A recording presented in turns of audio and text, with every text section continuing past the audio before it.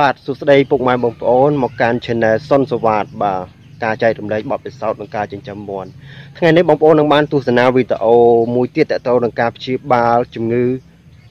គឺរីកឈាមទៅលើកូនមាន់ដែលបងប្អូនមួយចំនួន បានខមមិនសួរដូចជាចង់ដឹងនៅអឺចំណេះដឹងមួយនេះដើម្បីព្យាបាលមាន់បងប្អូនពីព្រោះរដូវនេះជារដូវមួយដែលងាយនឹងកើតជំងឺអឺអឺ រីកឈាមនេះណាជាពិសេសកូនមន់តែម្ដងបាទមិនថាជំងឺរីកឈាមនេះដូចជាលិមុខជាប់គូតអឺសំកុកធ្លាក់ស្លាប់អញ្ចឹងមានកតាផ្សេងផ្សេងទៀតបងប្អូនបានទស្សនាវីដេអូពីមុនមកហើយអញ្ចឹងវីដេអូបន្ទាប់នេះគឺការប្រើប្រាស់ថ្នាំដើម្បីឲ្យមានប្រសិទ្ធភាពទៅលើការព្យាបាលជំងឺរីកឈាមក៏ដូចជាលិមុខជាប់គូត ហើយចំណេះដឹងនេះក៏អរគុណខ្លាំងមែនទែនដែលខ្ញុំបានចែករំលែកទៅបងប្អូនបានទស្សនាក៏ដូចជាខមមិនសួរខ្ញុំសប្បាយចិត្តក្នុងការធ្វើវីដេអូបន្តបន្តទៀតបាទខ្ញុំនៅមានចំណេះដឹងជាច្រើនទៀតដែលនឹងចែករំលែកប៉ុន្តែខ្ញុំតែឯងខ្ញុំពុំមានពេលគ្រប់គ្រាន់ខ្ញុំនឹងព្យាយាមធ្វើវីដេអូឲ្យបានច្រើនសម្រាប់ចែករំលែកទៅបងប្អូន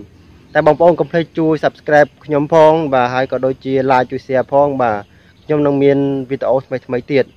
ហើយសម្រាប់បងប្អូនដែលចង់ចិញ្ចឹមមាន់ក៏ដូចជា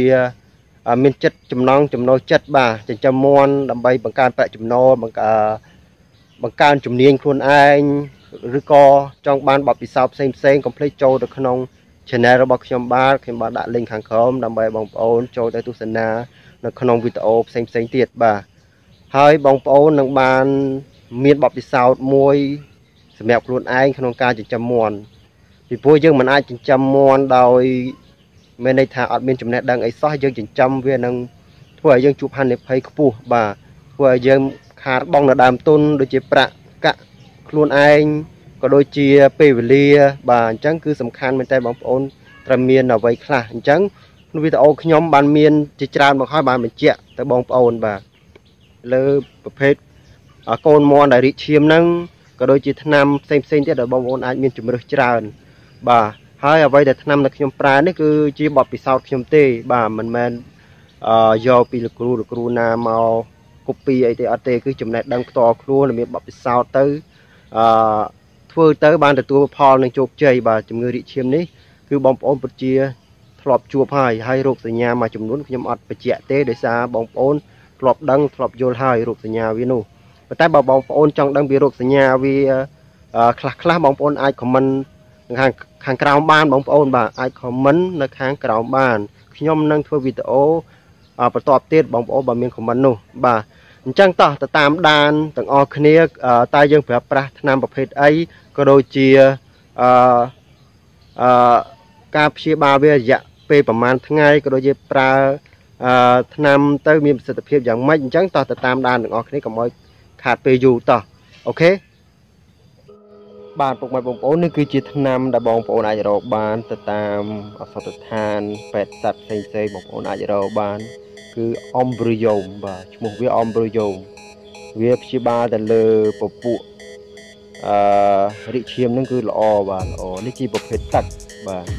ហើយយើងបោកបាទបោកជាមួយអាមុកនេះបងគឺប្រភេទអាមុកនេះបាទ តែអាមុកក៏មានច្រើនប្រភេទដែរបងប្អូនអាចរកបាននៅពេទ្យសัตว์បាទបងប្អូនអាចរកបានអញ្ចឹងតោះជួបវីដេអូទាំងអស់គ្នាបាទសួស្តីពុកម៉ែបងប្អូនថ្ងៃនេះមកជួបជាមួយខ្ញុំទៀតដែរយើងមកមើលថ្នាំមួយចំនួនដែលយើងអាចយកមកព្យាបាលជំងឺអឺរីកឈាមមាន់បាទអញ្ចឹងយើងអាចប្រើប្រភេទបាទនេះអាមុកនេះក៏បានបងប្អូនបាទទៀតគឺប្រភេទអាមុកប្រភេទនេះគឺក្រុមហ៊ុន ខុសគ្នាបងប្អូនបងប្អូនអាចប្រើមួយណាក៏បានដែរបាទណាបងប្អូនឃើញហើយតែតម្លៃនេះមិនថ្លៃទេបងប្អូនប្រហែលជា10000ជាង8000 5000អីទេតាមក្រុមហ៊ុនបងប្អូនហើយមួយទៀតដល់ពេលដែលវារៀកឈាមមិនបងប្អូនកុំប្រើពពុះវីតាមីនអីសោះបាទសូមកុំប្រើពពុះវីតាមីនអីសោះជាពិសេសគឺវីតាមីនពួកនេះវាធ្វើឲ្យកូនមាន់របស់បងប្អូនកាន់តែមានបញ្ហាថែមទៀត នេះរៀងរៀងប្រឡាក់បន្តិចបងប្អូនបាទនេះគឺជាប្រភេទថ្នាំគេហៅថាអមប្រូយ៉ូមបាទអមប្រូយ៉ូមបាទរៀងប្រឡាក់សបកនេះដោយសារតែអាភ្លៀងបាទភ្លៀងទៅវាវាវាខ្ទៀតប្រឡាក់បាទអញ្ចឹងអធិស្ឋានផងបាទឈ្មោះវាអំប្រូយ៉ូមបាទហើយបងប្អូនឃើញរូបភាពមួយចំនួនខ្ញុំបានដាក់ឲ្យហើយតែនេះជាថ្នាំដែលខ្ញុំប្រើរាល់ថ្ងៃទេហើយបងប្អូនក៏អាចមានជំរឿប្រើផ្សេងផ្សេងទៀតដែរបាទហើយអំប្រូយ៉ូមនេះគឺ គឺយើងអាចមានប្រភេទទឹកក៏មានប្រភេទម្សៅកញ្ចប់ក៏មានបងប្អូនបាទយើងអាចប្រើបានហើយគុណភាពប្រើនោះគឺគុណភាពដែលយើងប្រើទៅលើមន់គឺល្អបាទយើងមិនត្រូវប្រើពួកអង្គទីយូតិចទេបាទមកស្លាប់ព្រាកាហ្វេនេះបងប្អូនបាទមកស្លាប់ព្រាកាហ្វេហ្នឹងបាទជាមួយនឹងទឹកបាទនេះ2លីត្របាទ2លីត្រកន្លះទៅ3លីត្របាទមកស្លាប់ព្រាកាហ្វេនេះគឺ3លីត្រទៅ2លីត្របងប្អូនអាចប្រើជំរើសមួយណាក៏បានដែរបាទ បាទបងប្អូនប្រើមកឡាព្រាកាហ្វេអញ្ចឹងមកបាទបាទតែប៉ុណ្្នឹងទៅហើយយើងទុកសិនបាទហើយយើងបាទដូចខ្ញុំប្រាប់ទេយើងអាចប្រើពពួកអាមុកនេះក៏បានបាទហើយក៏ប្រើពពួកអាមុកនេះក៏បានដែរបាទប្រើអាមុកប្រើពពួកអាមុកគឺល្អជាងហើយជំរឿរបស់ខ្ញុំខ្ញុំប្រើប្រភេទ អឺនេះអាមុខប្រភេទនេះបងប្អូនបាទវាល្អបងថាវាជាក្រុមហ៊ុនដែល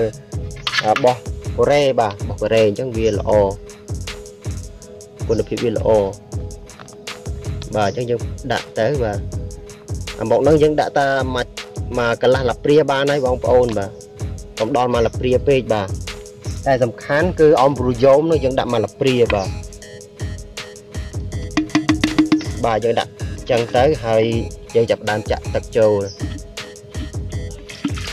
សូមជម្រាបថាការលាយទឹកឲ្យវាផឹកនេះបងប្អូនគឺយើងលាយឲ្យវាបានតែ5ម៉ោងទៅ6ម៉ោងទេលើសពីហ្នឹងយើងត្រូវយកថ្នាំចាក់ចោលបាទពីព្រោះវាអាចមានបញ្ហាដល់មាន់យើងបាទ